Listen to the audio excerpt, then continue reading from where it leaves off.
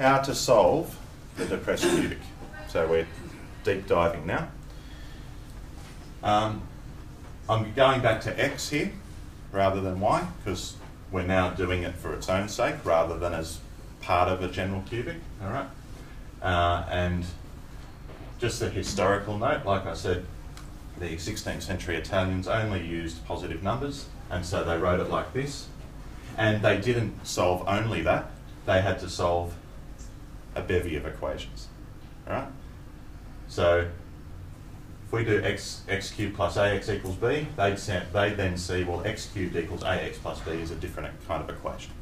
And x cubed minus ax equals b is a different kind of equation, right? Not to us, of course. Thank goodness for complex, uh, for um, negative numbers. But to them, they would say different equation and it has this solution.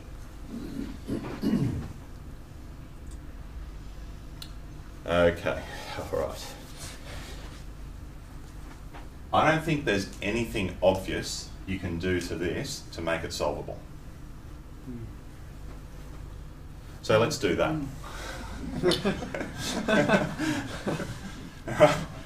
we used to have one problem, now we've got two. So we let x equal u plus v. We do the substitution. We expand it. There's our cubic part, there's our linear part, and there's our b. bit of grouping, so bit of factorising there, and then we can see there's a common factor here that can, okay, and I've bolded and coloured that to suggest that this is somehow progress. this, this is apparently going in the right direction. All right. All right. Is there anything obvious you can do to that? now, thinking creatively, can you think of anything you could do to that to make progress, to solve it? And I, I will admit that I'm sure I wouldn't have thought of anything. I, I read a book. Sorry? Factorizing cubes. Factorizing the cubes? Okay, you try that for homework. See how. Um, you are right, of course, because you will get that factor, and so then, yep. Um, okay, anything else? This is actually very much thinking outside the square. Uh, yeah, unintentional. And I hate unintentional puns. I'd rather have thought of it. Okay, so this can be solved if, and I'm not saying if and only if, I'm saying if. Oh. what if 3uv plus a were equal to 0? Now that doesn't solve it, but what if this term were equal to zero? What would that then imply? u cubed plus v cubed equals b. That's right. Okay? So, working in reverse, if those two things were true, then that would be solved, wouldn't it? Yep. And so this is how we proceed. We derive these simultaneous equations from that. And I said if, not if and only if. Okay, I, I, when I first read this and, and tried doing the work, I was thinking, okay, right, elegant. I like your choice. Well done. Um, but what other options are there to solve this? And would they give different solutions? And how do we know this is heading in the right direction? But that will solve it. And so we can make V the subject there. So V equals negative A over 3U. We can substitute it into there because they both have to be true and arrive at this.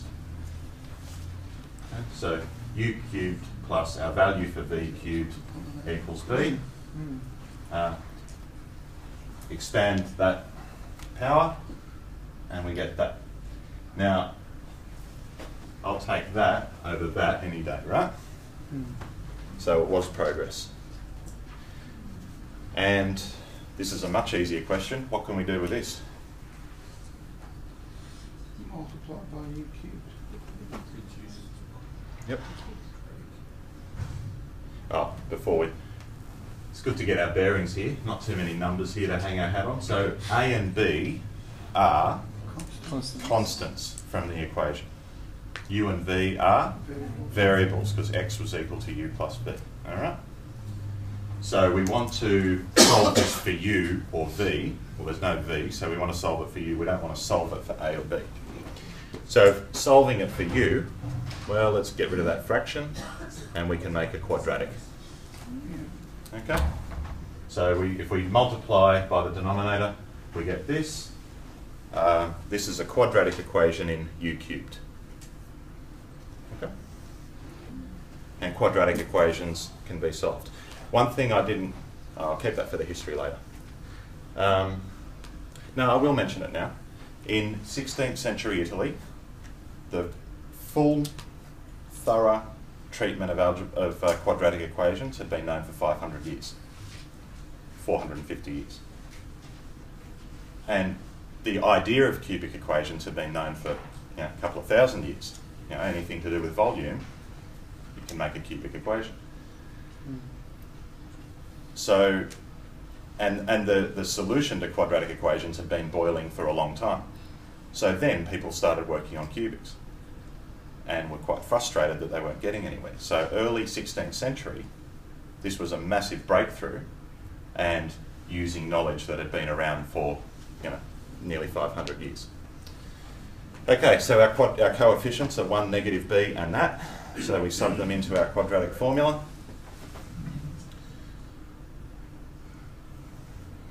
Simplify. I'll just go through it sort of slowly if you want to, you know, quickly check that things are working.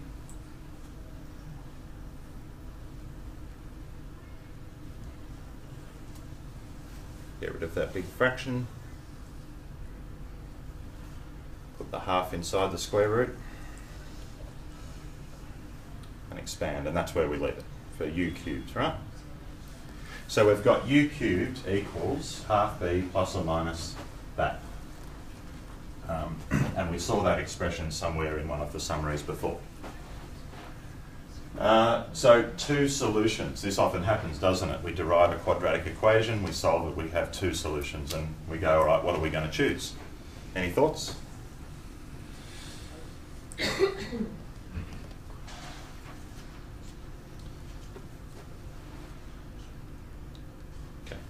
Two solutions.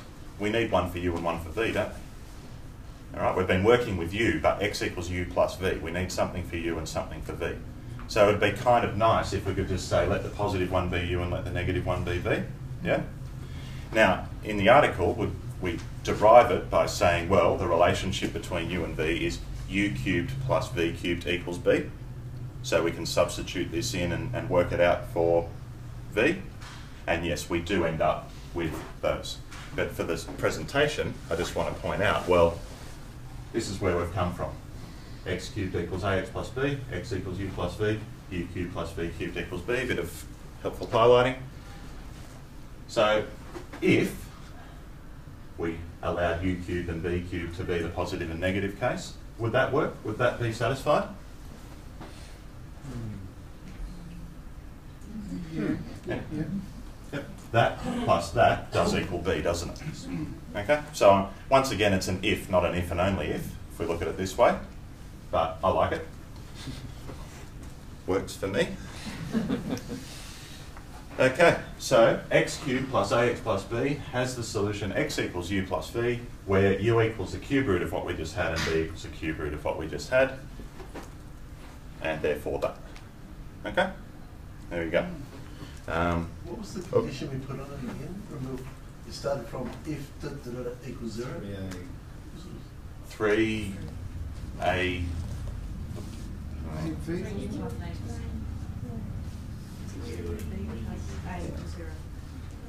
someone got it?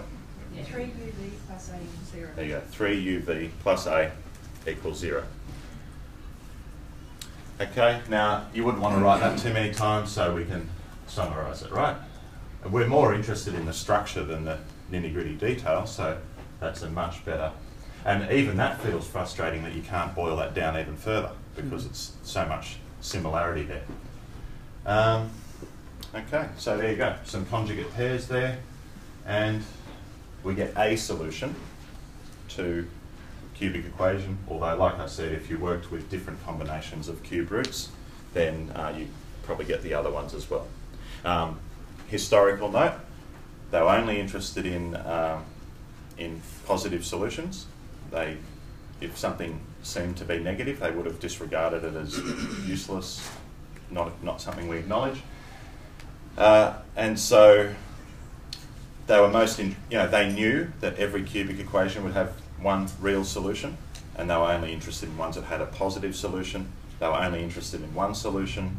They weren't thinking, you know, maybe we could generate some more. All right, so that's our solution to the depressed cubic.